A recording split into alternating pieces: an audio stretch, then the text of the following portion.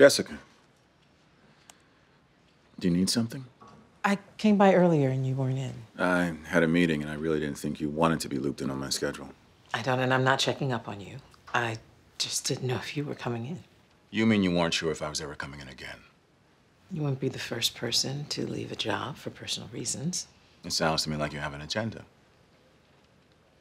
I don't. Well, that's a first.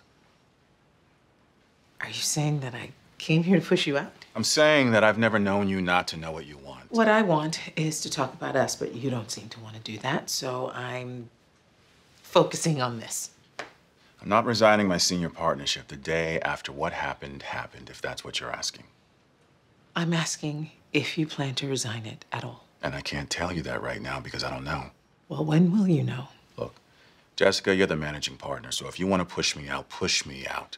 But if you're asking me what I want to do, I'm telling you that I haven't decided.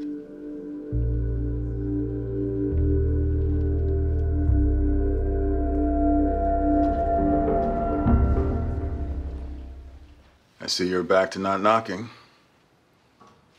I take it that means you've made up your mind. I have. And what I've decided is that you shut the door on me the other night.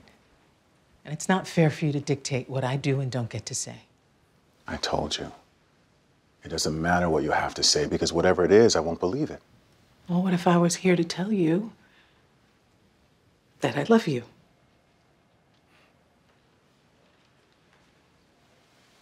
Jessica,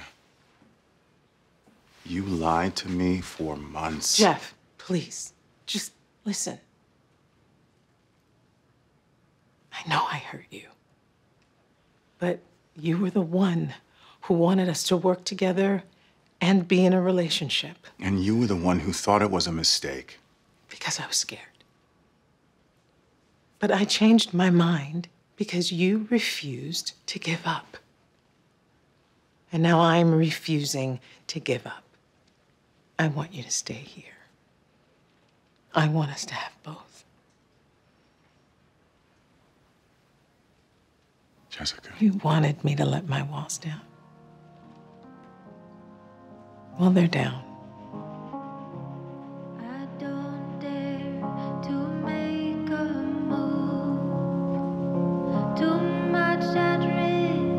too much to lose. What's that? You know what it is. Jeff. Jessica, you were right. We either need to have both or it's not going to work. And you don't want both.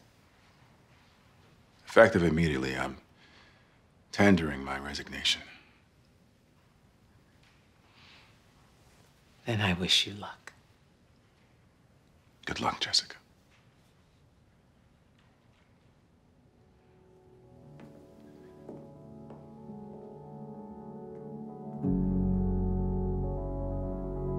Thank